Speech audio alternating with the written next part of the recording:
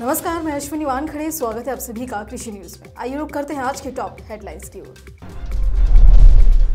Nano urea के बाद अब जल्द किसानों को मिलेगा नैनो डीएपी सरकार ने दी मंजूरी। एमटीडी कंपनी ने डीलर्स मीट में 30 से ज़्यादा प्रोडक्ट्स किए लॉन्च। केंद्रीय मंत्री ने किसानों से मोटा अनाज उगाने का किया आग्रह। पीएम किसान के बाद एक और शानदार गिफ्ट सरकार ने किसानों के खाते में डाले करोड़ों रुपए। हिंदुस्तान उर्वरक के गोरखपुर प्लांट को मिला सर्वश्रेष्ठ पुरस्कार। मोगा का किसान स्ट्रॉबेरी की खेती से कमा रहा लाखों रुपए। स्पीकर कुलतार सिंह सांधवा ने बढ़ाया हौसला। दिल्ली एनसीआर की पहली हाथ वाली आटा चक्की शानदार है इसकी खासियत। फ्लिपकार्ट इंडिया ने शुरू किया समर्थ कृषि कार्यक्रम। किसानों को मिलेगा बड़ा फ़ायदा।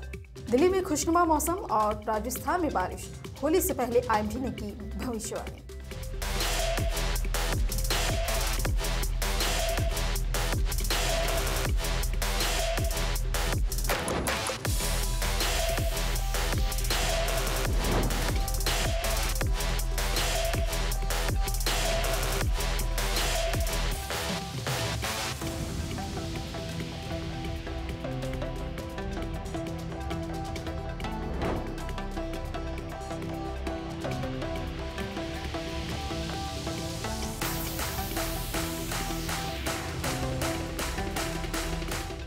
आइए विस्तार से खबरों की ओर रुख करते हैं। केंद्रीय रसायन और उर्वरक मंत्री मनसुख मांडविया ने कहा कि किसानों को लाभ पहुँचाने और देश को आत्मनिर्भर बनाने के लिए सरकार ने नैनो तरल डीएपी उर्वरक बाज़ार में उतारने की मंजूरी दे दी है। मांडविया ने एक ट्वीट में कहा कि नैनो यूरिया के बाद सरकार ने अब नैनो डीएपी को भी मंजूर कर दिया है।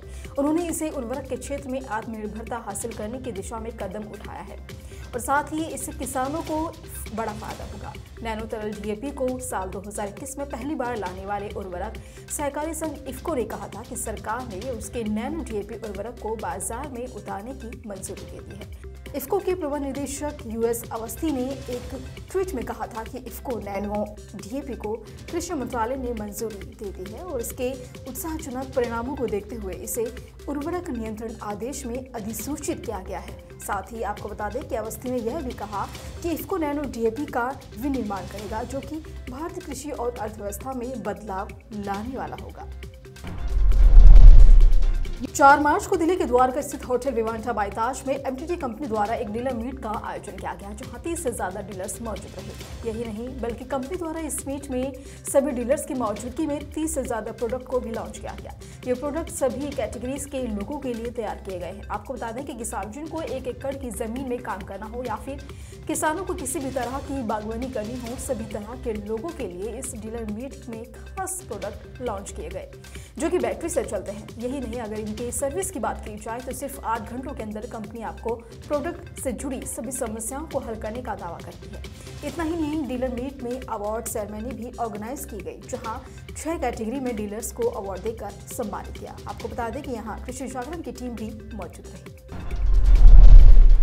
आपको बता दें कि रागी और ज्वार जैसे मोटे अनाज कम पानी में उगाए जाते हैं, लेकिन इनमें अधिक पोषक तत्व प्राप्त होते हैं। हालाँकि इन चमत्कारी अनाजों को ये सोचकर लोग नहीं खरीदते हैं कि ये गरीब आदमी का भोजन है।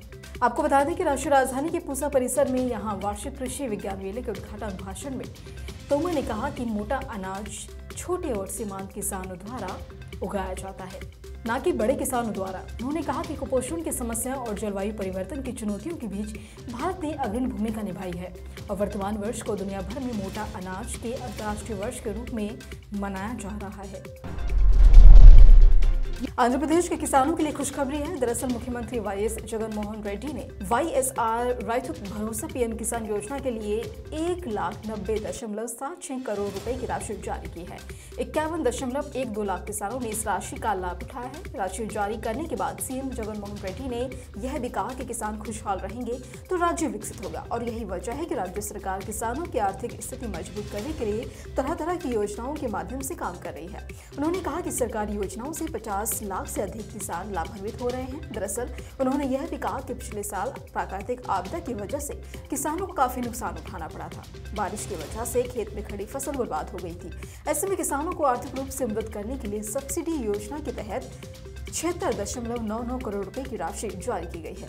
इससे इक्यानवे हज़ार दो सौ सैंतीस किसानों को फ़ायदा होगा। हिंदुस्तान उर्वरक और रसायन लिमिटेड गोरखपुर प्लांट को वर्ष की सर्वश्रेष्ठ वितरण रणनीति श्रेणी में पहला पुरस्कार दिया गया है।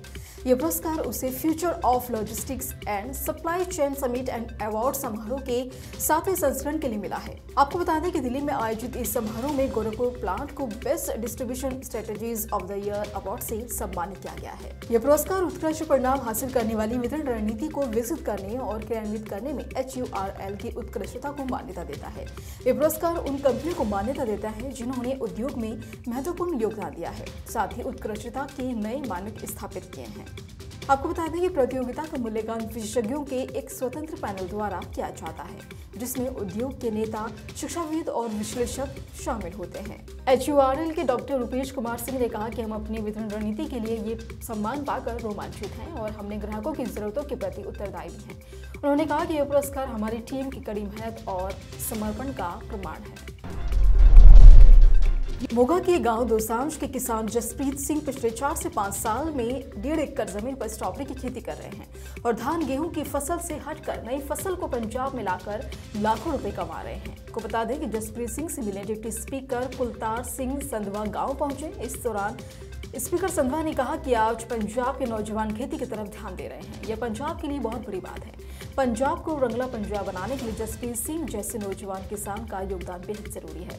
जसप्रीत सिंह अपनी मेहनत से एक नई फ़सल तैयार कर रहे हैं। साथ ही कई लोगों को रोज़गार भी दे रहे हैं। सरकार को ऐसे किसानों का हौसला बढ़ाना चाहिए जो किसान कर्ज के कारण दुखी हैं।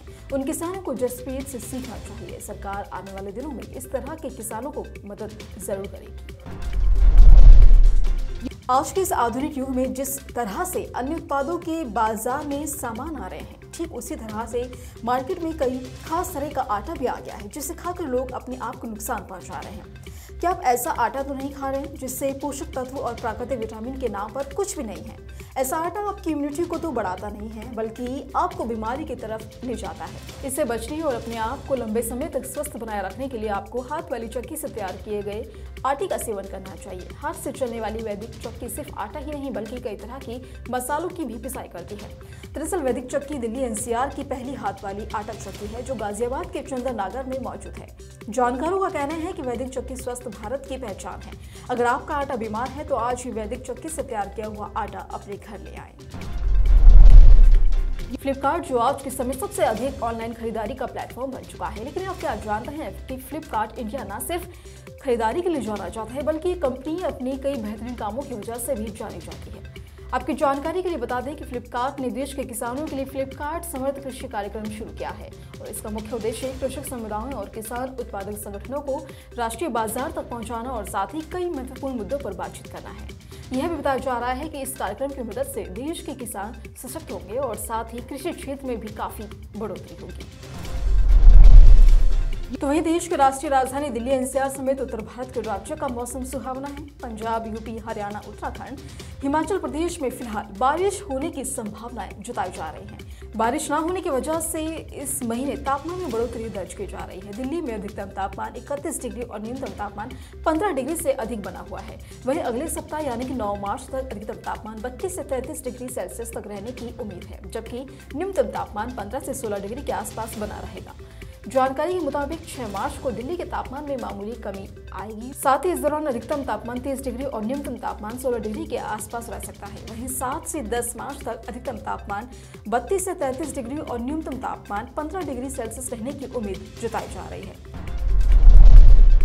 इसी तरह की अन्य खबरों के लिए जुड़े रहिए कृषि जागरण के साथ। धन्यवाद।